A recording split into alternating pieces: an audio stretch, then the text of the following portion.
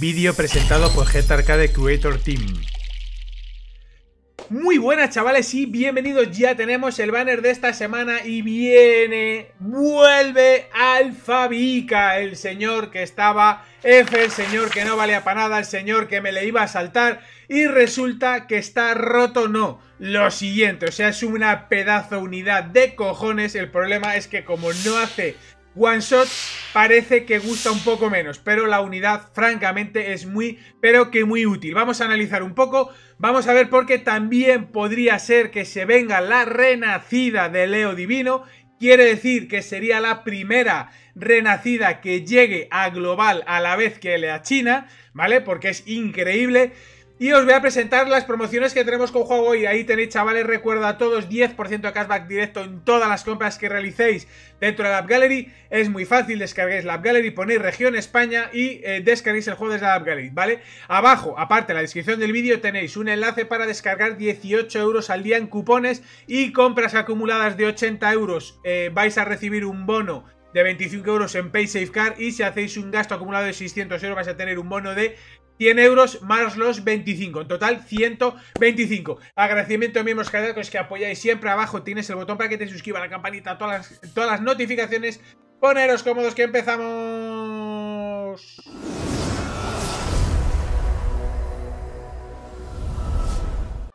Bueno chavales, vamos al turrón, pero lo primero vamos a ver en qué puesto del metagame está el señor Alfabica, ¿vale? Ya sé que se llama Albafica, pero en el canal le llamamos Alfabica porque estaba muy F, ¿vale? Entonces, bueno, pues vamos a la tabla de clasificación y vemos el top 3 de Europa, Thanatos, Sion Sapuri y Orfeo de Lira, seguido de Canon, Atena, Saori, fijaros, Saori en el puesto número 6, Doko Divino, Jun, Sirio Divino, el señor Hasun, Alon Perséfone se ha puesto en el número 12, es increíble.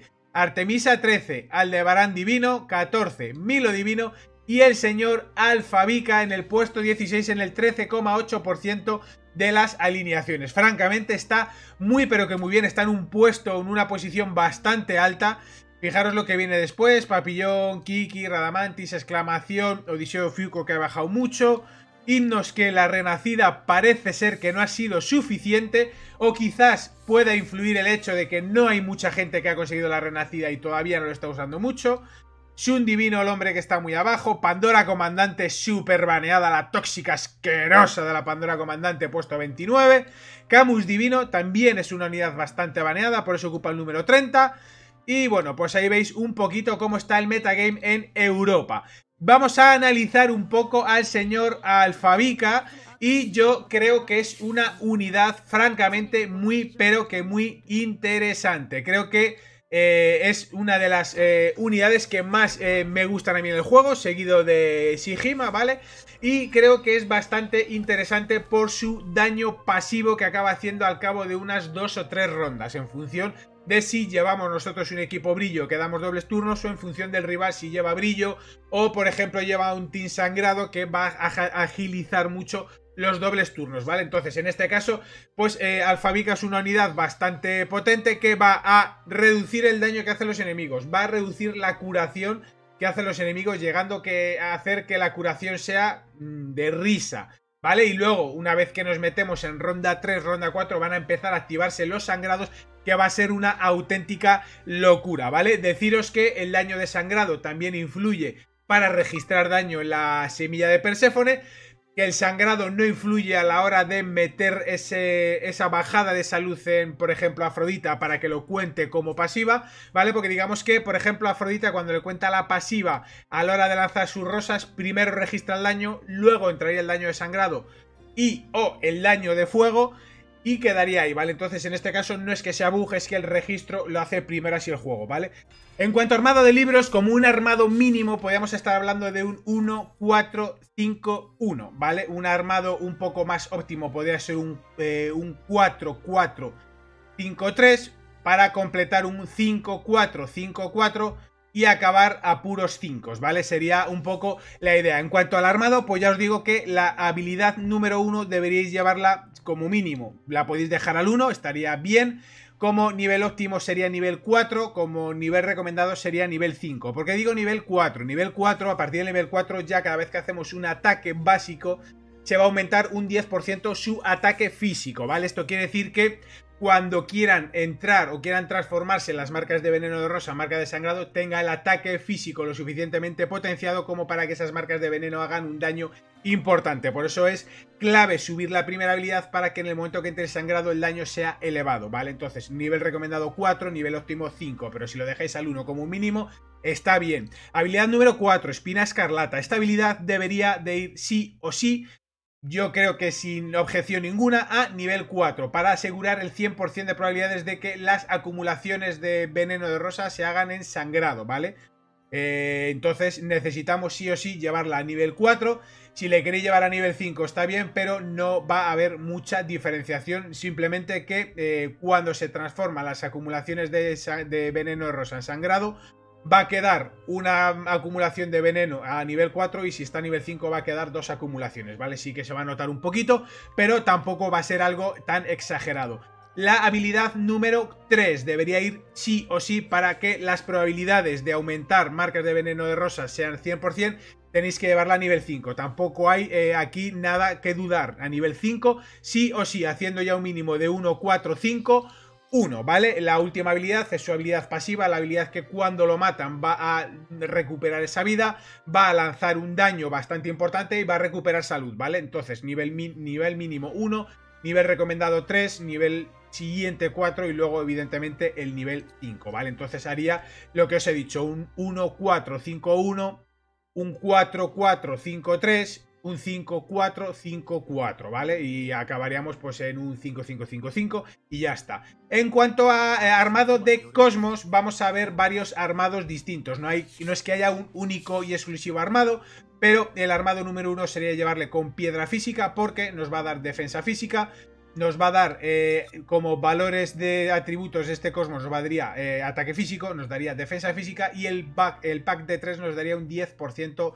de ataque físico. Habría otras opciones que también serían bastante viables, que podría ser quizás ramas, sería una opción, eh, podría valernos también ámbar de sangre, también sería otra opción bastante viable, o incluso eh, nos podría venir bien víbora. Lo único que tenemos que asegurarnos es que el ataque físico sea muy alto y tengáis muchos subatributos de ataque físico para que el ataque físico sea alto y cuando entra la acumulación de sangrado eh, tenga muy alto el ataque físico y entre mucho daño, ¿vale? En cuanto a cosmos amarillos, pues hay varias opciones, sabiendo que la defensa cósmica es un pelín más baja que su defensa física, nos puede ir bien como principal cosmo, pues quizás sello espiritual, ¿vale? Un poco para meter ese plus a defensa cósmica en detrimento porque yo, por ejemplo, llevo eh, piedra física y me va a dar defensa física, entonces, bueno, pues puede equilibrarle con eso, ¿vale? Otra opción sería llevarle como lo llevo yo, con glorias matutinas, que también puede valer. Y en cuanto a los cosmos azules, pues lo que mejor le va a ir va a ser sin lugar a duda perlas de naga, perlas de naga porque nos va a meter salud y la perforación te va a venir bien cuando eh, te le matan y van a pegar el daño con su pasiva, ¿vale? Entonces, en ese caso, en función de cómo tengamos armado su, también su, un poco su cosmo legendario, va a determinar qué cosmo eh, azul vamos a llevar. En este caso, yo le llevo con Narciso para incrementar mucho el daño cuando le matan. En este caso, Perlas de Naga va a funcionar por la perforación, ¿vale? Si no es el caso, habría otras opciones, como puede ser quizás fruto del conflicto para darle mucha resistencia, mucho más aguante, mucho más sustain, o incluso también fuego de cristal para darle un poquito más de velocidad y eh, un poquito más de ataque físico. En cuanto a cosmos legendarios, habría pues principalmente cuatro opciones, ¿vale? Eh, la primera sería Narciso, la que yo llevo. Narciso lo que va a hacer va a ser incrementarse el ataque físico cada punto de salud que pierde. Lo que quiere decir es que cuando le matan y le quitan la primera vida, al lanzar la rosa sangrienta va a meter un daño descomunal, ¿vale? Entonces quiere decir que Narciso va a venir bien en ese aspecto. Incluso Narciso va a venir bien cuando se vienen las eh, acumulaciones de sangrado, si ha perdido vida va a tener aumentado el ataque físico y va a meter más daño. Entonces, bajo mi punto de vista, un alfabica un poquito más ofensivo sería con Narciso. Habría otras dos opciones eh, para meter debuff. Una sería con Narciso para meter debuff de ataque eh, físico y ataque cósmico. Otra opción sería Elfo de Sangre para meterle ese debuff de defensas, ¿vale? Y la última opción 100% defensiva sería Fuxia, ¿vale? Sería la opción más defensiva, más de sustain, que quizás también nos permitiría cambiar el Cosmo azul por otro Cosmo un poquito más defensivo, ¿vale? Estos son un poco ideas eh, que tenéis. En cuanto a recomendaciones, si tirar o no tirar por Alfabica, yo recomiendo tirar. Es una unidad muy buena, es una unidad muy potente, está gustando mucho y se le han visto las virtudes después de que la gente haya invocado por él.